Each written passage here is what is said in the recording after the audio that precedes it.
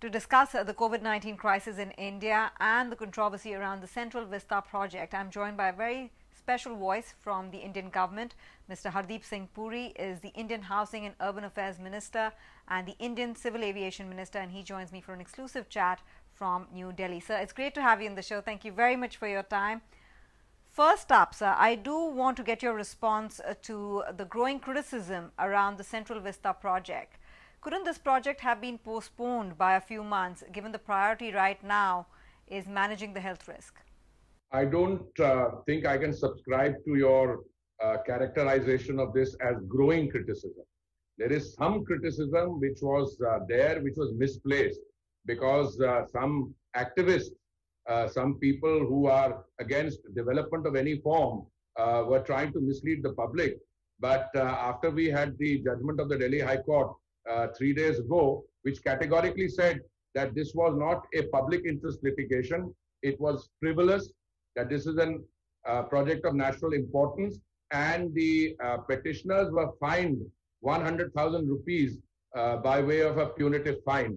So the criticism is not growing. I think some people who don't know anything about it are talking. There are two issues involved.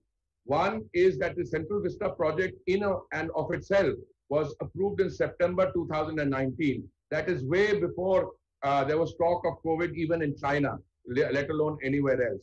Secondly, there are only two components in this which are being currently pursued. One is a new parliament building for which there has been a demand since 2012. And you know, the current parliament building uh, has in fact uh, uh, run into great difficulties. Even in 2012, when there was a Congress government here, the speaker of the parliament wanted a new building and she had taken a decision to that effect. And next year we celebrate the 75th anniversary of India's independence and there is not enough space there.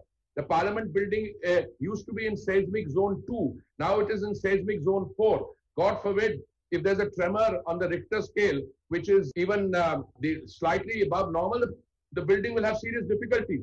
Therefore, and you know, we have currently a freeze on the number of parliament members, but in 2026, that freeze will be lifted and we will go from 540 plus currently to 750. So there is absolutely no issue on the new parliament building. Some people have been trying to mislead, and I'm sorry to say, some um, news channels from outside which like to depict India as, uh, you know, having a very serious problem on COVID, this, that, and the other. There's no binary relationship with the building of a new parliament, which only costs something like 840 crores. And uh, the uh, Central Vista Avenue, which is another 400 crores. For vaccine, we've allocated a sum of 35,000 crore Indian rupees. We have ramped up production. We have two domestic manufacturers. Other international vaccine producers are going to man manufacture under license through commercial agreement. So there's just no correlationship that, between the two. And let me also tell you, uh, we are the world's largest democracy. We are a robust democracy our uh, opposition parties are, if I may be permitted to use the term, uh, happy to indulge in irresponsible distortion of facts. And I think a few days ago, but I took a, uh, uh, a press conference after the Delhi High Court judgment came, I pointed out that all the clearances had been obtained, statutory clearances, when the Supreme Court, which is the apex court in India, disposed of this matter in January 2021. After that, some people tried to ask for a cessation of work, saying that since there's a pandemic going on, and the court's findings, the verdict is very interesting. They said that the government has actually created a bubble there. They have got all the arrangements for thermal scanning. There are 1,600 people on those two projects. On the Parliament project, there are 1,300 people, 900 of whom, and we have already been vaccinated. So this is completely baseless criticism, which, but because we are a large democracy, um, some of the kind of things you can do in Singapore and other countries uh, to uh, haul up um, uh, this kind of irresponsible thing. Here, the court is only fined them 100,000 rupees by way of punitive charge. Uh, I am not sure whether this criticism will go away, but it is certainly receded. And I think those who uh, were talking irresponsibly and now um, have some, uh, quest some questions to answer. Right, sir. There were reports doing the rounds that the number going into this entire project was $2.5 billion or 20,000 crores and critics as well as the opposition, as you highlighted, uh, are arguing that that money could have been spent towards COVID relief efforts. What's your take on that? First of all, I don't know where this figure has come from. I don't know what exchange rate you are using, but even the entire cost of the project, which has to be um, uh, undertaken over a five or six year period, that entire cost of the project was not uh, more than 13,400 crores as given in the initial estimate. And the real cost you find out only when you do the tendering and you get the competitive quotes on it. Second issue, the entire project consists of 10 massive buildings which will house the central secretariat. Just now, the government of India's 51 ministries and departments are strewn all over the city of Delhi. Those 51 departments will come in one place, 10 big buildings, a new conference center, a new Indira Gandhi Center for Performing Arts, a new residence for the vice president, new residence for the prime minister, all these things together along with the Central Vista Avenue, that is not going to cost 13,400 crores. Uh, and if it does over a period of six years, Tanvi, do you know how much money we spend on paying rent for our government offices? We are a, a, a sovereign nation now. We've been an independent nation. Uh, we're going to be 75 years, and we spend 1,000 crores every year on paying rent uh, to um, uh, the private sector or the public sector undertaking because the government has not done it. So this is actually a very interesting project which will span over four five years. Just now, only the new Parliament building and the broadening of the Central Vista Avenue was taking place.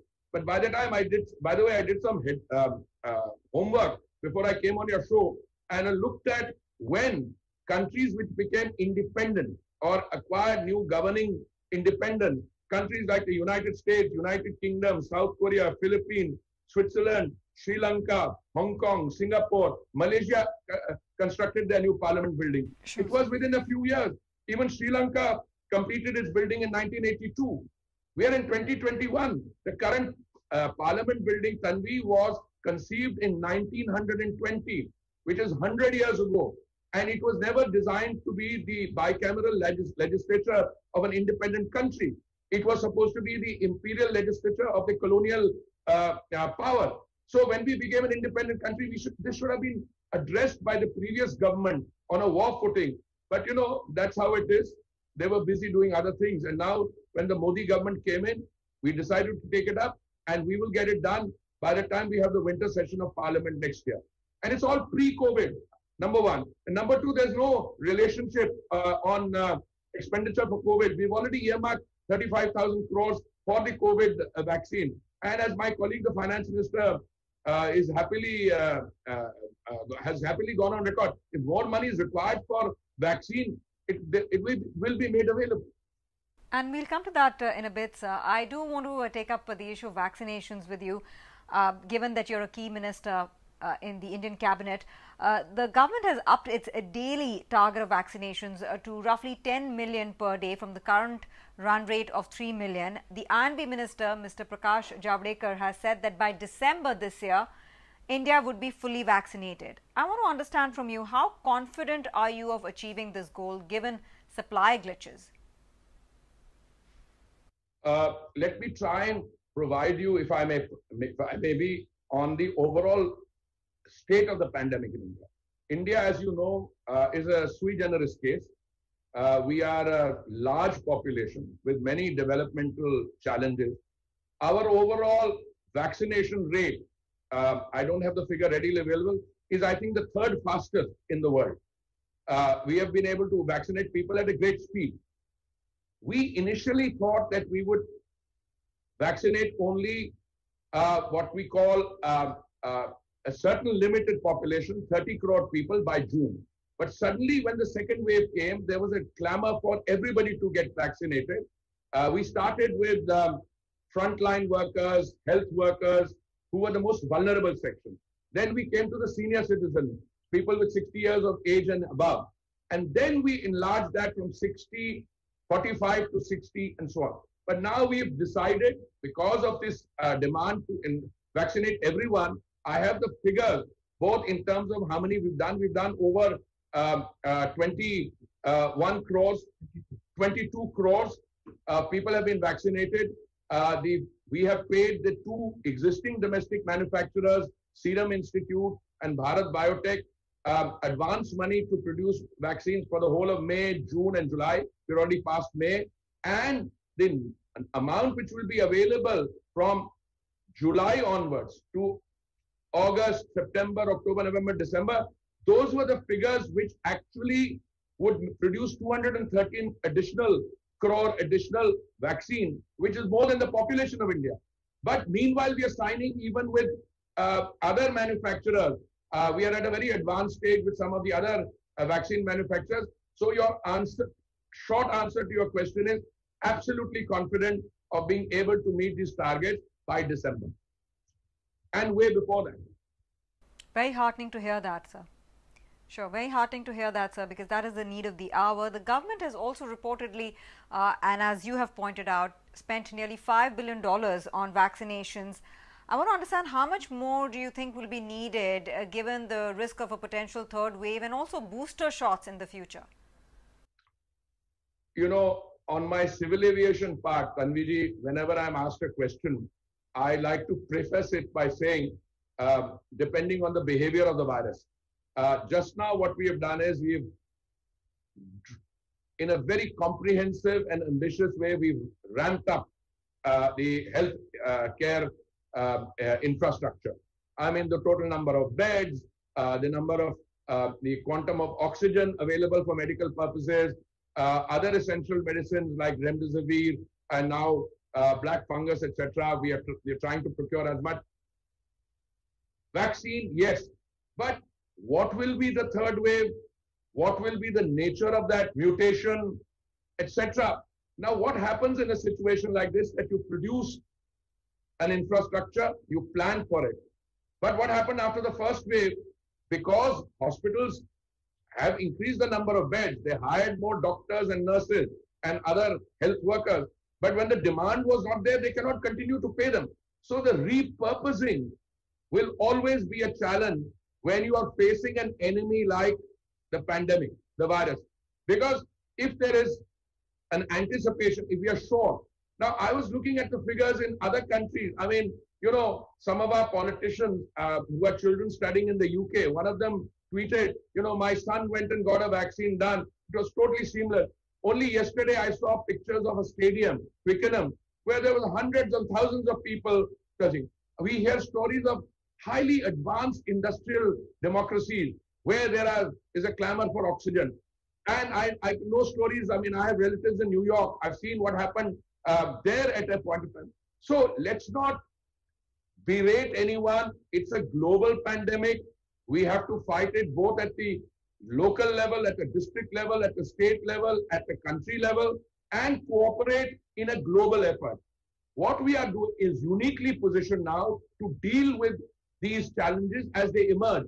But you know, it would be very wrong of me to sit here and say we are fully prepared. Look, we've increased the oxygen supply, the number of beds, the number of medical workers, medicines required, and the vaccines also. And if booster shots are shots are required, madam, you know, in our country, I mean, you know a little bit about it. Uh, there were people fueling vaccine hesitancy. They were deliberately going out of the. So we have a problem in some rural areas. People say well, if you get vaccinated, you may end up with, you know, a set of other problems. Well, that's a, uh, these are stories you hear in other countries also. But I think through proper dissemination and education, vaccination is necessary. Government is going about it. And, you know, just now two shots of the uh, uh, uh serum vaccine or one shot of the others which become available. We will play it um, as we go along, but we, we are reasonably confident that we have the situation under control.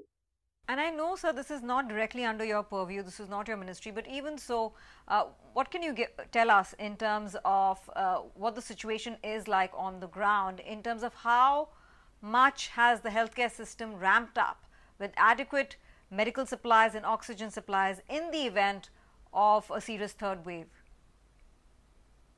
Look, on oxygen, we had increased the oxygen supply, I think, what, two and a half times already. Now we have enough oxygen that we are diverting some of it back to industrial purposes. you know, in India, we also have a geographical issue. All the oxygen manufacturing plants are in the east of India. And the uh, transportation, it's a large country, so you have to transport them by rail or by surface transport, by uh, truck, uh, by surface uh, roads to the north, central, and other parts of India. But I think we have it all mapped out now. If if a third wave comes and when it comes, depending on the requirements, our capacity to again repurpose and again to convert back to dealing with it, I think that infrastructural capacity is there. Before we wrap up, sir, um, and I know that you're aware of this, this has of course been a very sensitive issue uh, regarding India's uh, COVID-19 crisis and the second wave especially. The international community, as you're aware, has been critical of the Indian government for being complacent in managing the second wave with election rallies and the Kumbh Mela. What are your reflections on why the second wave got this bad when India had done so well in managing wave one? Well, I'm not entirely sure whether uh, the criticism when it comes. Well, first of all, like I said, all super spreader events, all super spreader events uh, should not take place. Let me tell you. Some of these super spreader events take place because there is an inherent desire in people to uh, want to celebrate. You know, when the clampdown took place in New York for the first time, I remember people came out and protest. It also led to uh, looting, uh, including on Fifth Avenue, because people don't like to be bottled down. So one is an individual behavioral thing, and I think the Prime Minister of India has been upfront in every meeting with chief ministers. I remember at meeting with chief ministers, which he took on 16th March, Tanviji, he said, second wave is coming, second wave is coming, second wave is coming, get prepared. And yet, and yet, because we, unless you know, water is beginning to enter your nostrils, people didn't take that seriously. But in any case, I think the message has been driven home. Some of these super spreader events that you are referring to are of a religious kind. Religious kind where, you know, people collect for a mela or there is a, a cleric who passes away and, uh, you know, people go in a funeral procession. That's different. Insofar as politics, when the wave figures hit, I think they cancel the election rally. You can always have an argument whether it should have been cancelled one or two days earlier or, uh, you know, it doesn't make a difference. But by the way, the political rallies were taking place in a state. That state is not showing uh, uh, uh, those high figures. On the other hand, the opposition was actively fueling a farm protest on the border of Delhi in the state of Punjab and Haryana. And uh, on the one hand, these people are saying, you please don't have these super spreader event. At the same time, at the same time, they're encouraging these hardworking, very genuine farmers, many of them who really toil on the soil. But what did the government do? We ensured that the maximum amount of procurement took place both for paddy, rice, and wheat. Uh, you know, all this talk about minimum support price going away Mondays. I mean, it's there been record uh, uh, procurement in Punjab and Haryana. But some people have been misled and they sat on those protests. Now, if there's a spread there, so, you know, governance in a country of India's size and with India's challenges uh, is a slightly more difficult thing than in smaller population which have, which have all also higher degrees of, you know, 100% education. We have 100% education in some parts of India, but people are more emotional and they tend to uh, respond to, uh, you know, their own needs. No, and and you have a point, sir. This pandemic has not come with a playbook for any government, any administrative body, any community, and everyone has made their share of mistakes. I think why uh, the disappointment with India is because A, India done a very good job with the first wave, and so the expectation was high and the confidence was there that it could be repeated with the second wave. And given the emotional toll the second wave has had on lives, on people, you know, the anguish, the pain, the anger there uh, I guess the the larger issue, the bigger question is could this have been averted or could this have been mitigated, so to speak, uh, by avoiding some of these events? I have a very simple answer for you, Tanvi. When it comes to something which is, I think, where the virus is the enemy, and this is a once in a century challenge, I think judgment on how countries uh, fare uh, should be done over an extended period of time. We came out with flying colors after the first wave. If you were having this conversation with me two weeks earlier, you might have a different. Now I can tell you with confidence, India's recovery rate today is very high. It is over 90% uh, the recovery rate. The mortality rate is also very low. I think it's what 1.2% uh, in Delhi and a slightly higher mortality rate. Now, I don't want to belittle the fact, as far as I'm concerned, one death is one death too many. But the criticism is you have to compare like products. You know, produce similar. You don't you don't go and compare a country with India side. But as I said, the discourse even here has changed. Today, I think people can say with confidence, you know, I used to get 100 calls uh, every day for um, help, say oxygen cylinders, uh, people wanting essential medicine, because, you know, when things go wrong, but that's the same that happens everywhere else, in the United Kingdom, in Japan, and elsewhere. But the situation now, both in terms of infrastructural uh, revamping, first wave we did very well, second wave, because in spite of all the modeling we had got done in uh, US universities elsewhere, nobody expected a spike as serious as 400,000 cases plus in a day. We didn't expect it. We prepared. When the when these cases were going up, we got an American university professor of Indian origin to do the modeling, and she said it probably will go up to 100,000 when it was almost low when we saw the beginning. We prepared for 300,000. But when the spike took place, it went way beyond. I think one of the figures was 425,000 in a day. So we learn. Now I know of hospitals who tell me, you know, we've ramped up the infrastructure, we've got all these beds. What do we do? We can't maintain the expenditure. See, I think we've, to the extent that, um, you know, it's learning experience. But I think by the time the third wave comes, I hope uh, we are all equally well prepared for it. And also our uh, experience in terms of lockdown you know, the first wave came, we locked down just totally. So we, the first quarter of the last financial year, Tanvi, we contracted by 23.9%. Now in our last quarter, uh, for which we just got the result, the economy actually grew by 1.4%. So these are experiences that we learn.